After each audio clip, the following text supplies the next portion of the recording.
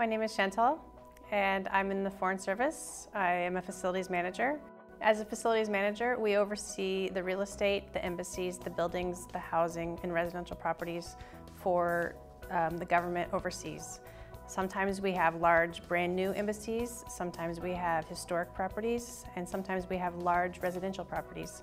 Before I came to the Foreign Service, I was a facilities and property manager in the private sector. I oversaw the construction, property management, and facilities of large commercial buildings. I actually never knew about the Foreign Service or even this position as a facilities manager within the State Department. I found out about it when I had gone back to school to get my master's degree for real estate development. My experience in the Foreign Service for the last nine years has been a dream come true. It has been so amazing. I have two children. they they've grown now. They went to school in the international schools abroad. They've gotten so many experiences they would have never had. They, they've had friends from all over the world. They've gotten to travel to places they've never been.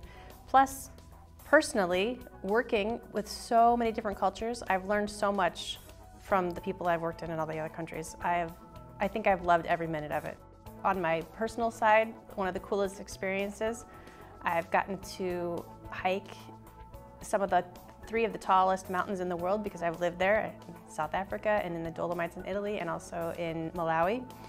And then on a, on a um, professional level, I, I, have had so many experiences that I would not have gotten to experience living in the United States because it's, it's, it's factors that you don't have to deal with when you're living in, in a, in, you know, I was living in a third world country and you have to work on unsafe water or you have to work on run on generators 24 hours a day because they don't have power.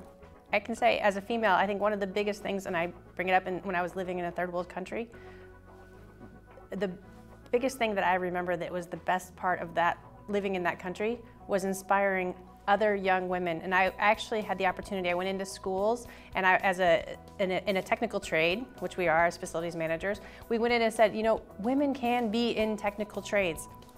And I went and mentored schools and I, all the girls came running up, they're like, oh my gosh, I have so many questions. So I think being able to not only do your job in this, in, in, as a foreign service facilities manager, you're also, you're changing and you're being a diplomat and you're showing everybody, this is how females can really change the face of facilities management worldwide.